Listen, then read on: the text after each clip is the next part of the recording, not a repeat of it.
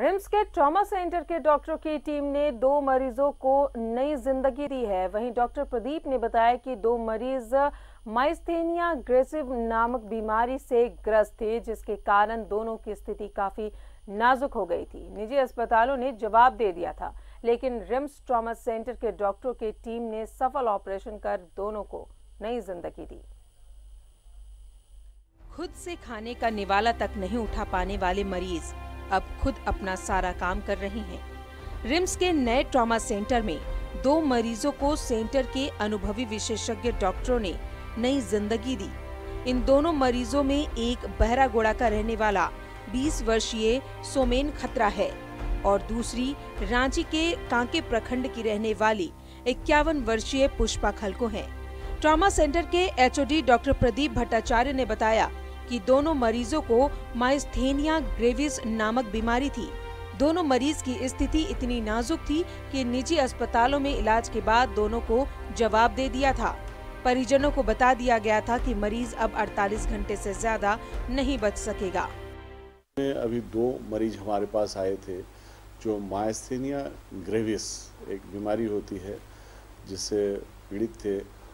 एक उड़ीसा से आया था पेशेंट और एक यहीं रांची में कांके से आए थे।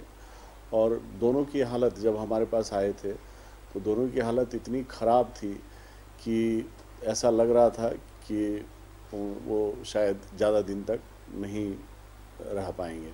लेकिन हमारी टीम ने बहुत कड़ी मेहनत की, दोनों मरीजों के पीछे में।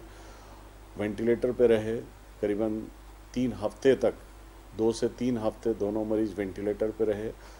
और उसके बाद हम उनको सक्सेसफुली वेंटिलेटर से बाहर करके, और आज हम, हमें इस बात की खुशी है कि दोनों मरीज़ वेंटिलेटर्स में भी नहीं है, ना तो उनको ऑक्सीजन लग रहा है, और वो अच्छी तरह से बैठ के खा पी रहे हैं पिछले कई दिनों से वेंटिलेटर के सहारे सांस ले रहे मरीज़ अब स्वस्थ हैं।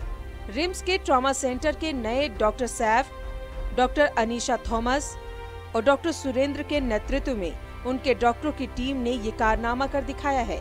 रिम्स के ट्रॉमा सेंटर के अनुभवी विशेषज्ञ चिकित्सकों के द्वारा मरीजों को अत्याधुनिक विश्व स्तरीय उपचार मिल रहा है। मरीजों ने क्या कुछ कहा आप खुद सुने। हम यहाँ पे आए थे। मेरा टाइम से दवा खिलाना वो क्या चीज़ खिलाना वो सब टाइम टाइम से देती थी सबको यहाँ आने से पहले किसी और हॉस्पिटल में भर्ती थी? सेंटीविटा में थे। हाँ, में थे जी। वहाँ पे जैसे इसी चीज़ का इलाज हो रहा था लेकिन जो दवा पढ़नी थी ना, वो नहीं पढ़ी।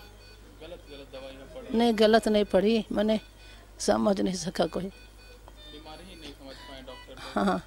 यहाँ लाभ यहाँ बहुत लाभ मिला। मुख्यमंत्री रघुवर दास के सपने को साकार कर रहा है रिम्स का ट्रॉमा सेंटर। अत्याधुनिक मेडिकल उपकरणों से लैस ट्रॉमा सेंटर के अनुभवी डॉक्टर मरीजों को विश्व स्तरीय इलाज दे रहे हैं। बस ज़रूरत है कि ट्रॉमा सेंटर में मैन पावर की संख्या बढ़ाई जाए, ताकि मरीजों को सुविधाएँ मिलती रहें। रांची से न्यूज़ 11 भारत के लिए सत्यव्रत किरण की रिपोर्ट।